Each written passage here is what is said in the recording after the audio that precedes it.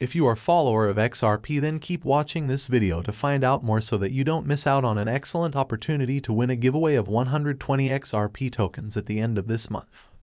Hey guys, welcome back to Whiteboard Crypto Update, the best spot for your daily dose of everything XRP and cryptocurrency. In today's video, we will talk about XRP's future, so be sure to stay focused as you surely don't want to miss out on this. If you are new to the channel, be sure to subscribe to the channel and turn on post notifications by hitting the bell so you never miss any of our uploads and also enter our giveaway. Elon Musk has encountered several difficulties during his life, but he could soon encounter his greatest trouble yet. He took to Twitter to attack the system established to evaluate a firm's sustainability or investment after Tesla was dropped from the SP 500 ESG index. He then exposed Klaus Schwab and the World Economic Forum and things have gotten worse. As part of the list yearly upgrade, Tesla was removed from the S&P 500's ESG index. Even the oil and gas juggernaut ExxonMobil was on the list, along with companies like Apple, Microsoft, Amazon, and others. Based on information about environmental, social, and governance issues, the SP 500 ESG index ranks and effectively advises companies to investors. The World Economic Forum's 51st annual meeting attended by over 2,000 of the world's most influential people was held in May. In Davos, Switzerland, among the attendees were representatives of the cryptocurrency industry, and during their discussion, they outline what the future of finance looks like from the perspective of the world's elite. We will explore some background information on the World Economic Forum in today's video, and then give you a synopsis of the discussions regarding cryptocurrencies, and what they might all signify for cryptocurrencies. Just so we get on the same page, here's what you need to know about the World Economic Forum. If you don't know already, an international organization with its headquarters Switzerland is the World Economic Forum, or W as I refer to from this point forward. Klaus Schwab, a German engineer, economists, and university professor who formed the W in 1971, initially envisioned it as a club for European business people because it includes nearly all the most influential business people, politicians, corporations, and NGOs around the globe. The wealth has subsequently grown to become one of the most influential organizations in the world. According to his website, the WEBCO is to influence global, regional, and industry agendas. We accomplish this through providing support to the people and organizations that advance the organization's goals and by hosting annual meetings, where these people and organizations can discuss these agendas. Klaus, who had led the group as its chairman since its founding, is mainly responsible for the schedules and discussions at West meetings. The Great Reset is Klaus's most well-known concept, and he went into great detail in his book in 2020, which became quite popular after the WEF published a brief essay on Twitter, outlining how you'll own nothing and be content by 2030. The WEF members will be delighted and will hold everything. Anyways, the idea that is most relevant to this video is stakeholder capitalism, and Klaus has stated in interviews and in speeches that the stakeholders in question are of course the members of the WEF. Stakeholder capitalism was the theme of WEF's Davos meeting in 2020, and the Great Reset was the theme of the conference in 2021, which was held virtually due to the pandemic. The theme of this year's meeting was History at a Turning Point Government Policies and Business Strategies. In other words, how do we take advantage of all the chaos to take more control?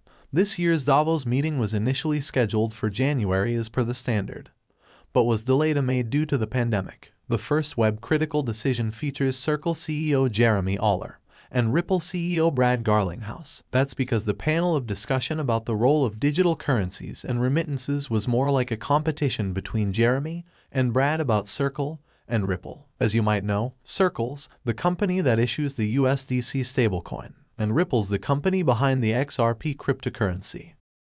Before considering Elon's outbursts, Let's explore the spa between Jeremy and Brad. It happened after Jeremy talked about how cryptocurrencies should remain permissionless, including USDC. In case you don't know what permissionless means, it means you don't have to ask for anyone's permission to use a cryptocurrency. There is no company, no government. Brad immediately said regulators would not allow permissionless systems, particularly those related to remittances and digital currencies. Jeremy jumped in by arguing that regulators need to be okay with not knowing what's happening with specific cryptocurrencies, the same way they tolerate not knowing what's happening online. Jeremy went on to list a bunch of statistics about USDC, and the whole reason why USDC is seeing so much adoption is because of Circle's commitment to making USDC as much like cash as it can. Jeremy even goes as far as to argue that any digital currency that doesn't have the same properties as cash will not be voluntarily adopted. As previously stated, the SP500 removed Tesla from his ESG index resulting in a massive outburst from Elon Musk. The index was updated earlier in May and a spokeswoman for the index explained why in a blog post. It has stated that Tesla's lack of low-carbon strategy and codes of business conduct as well as racism and terrible working conditions recorded at Tesla, Fremont, California facility had an impact on the score Tesla's handling of the National Highway Transportation Safety Administration inquiry also impacted its grade. While Tesla's declared purpose is to speed the world's transition to renewable energy, the company settled with the EPA in February this year after years of Clean Air Act breaches and failing to measure its missions. Last year, Tesla rated 22nd on the UMass Amherst Political Economy Research Institute's Toxic 100 Air Polluters Index. Quite a mouthful trailing ExxonMobil ranked at 26. The index is based on data from 2019, which is the latest available. Tesla also stated in its first quarter filing that is being investigated for its waste management practices in California, and that it was fined in Germany for failing to satisfy the country's take-back responsibilities for old batteries.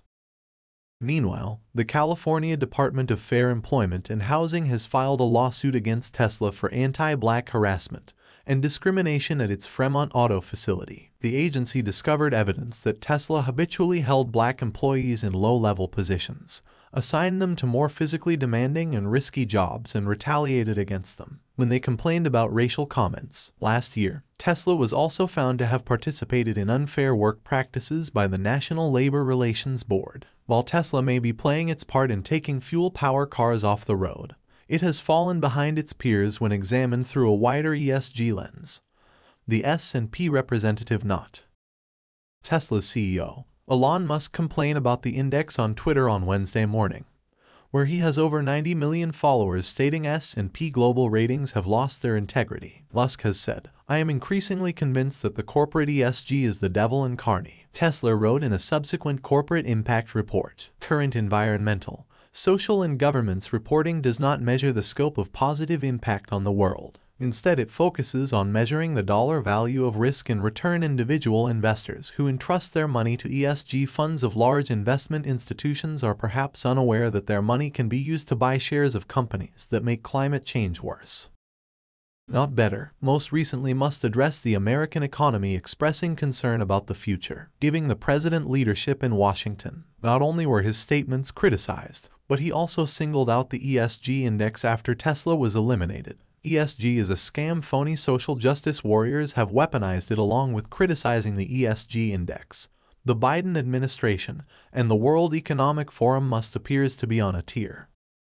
Asking why the Department of Justice hasn't released the clients list of Jeffrey Epstein and Ghislaine Maxwell, Musk has not remained silent. Despite many of America's ills, not long ago, the billionaire infuriated Democrats by proposing to buy Twitter for a whopping $44 billion. The Democrats soon debated the risk of allowing a single individual to run a whole social media platform, very similar to Mark Zuckerberg's speech at the World Economic Forum, and Davos, Switzerland demonstrated his future vision for the world. He contends that the humanity's future is closely intertwined with the world's in. You must develop sustainable energy sources and discover methods to live peacefully with nature. Well, guys, that's all we have for you today. What are your thoughts on XRP? Get involved and let us know in the comments down below. If you guys like this video, then be sure to give this video a big thumbs up. Also, if you don't want to miss out on any new future videos then be sure to click on the subscribe button and turn on the notification under this video so that you're notified the next time we upload a video on the latest XRP and cryptocurrency news. Until the next video comes out, you can watch our other videos about XRP or other cryptocurrencies. Thank you for watching, and we will see you again in the next video. Goodbye.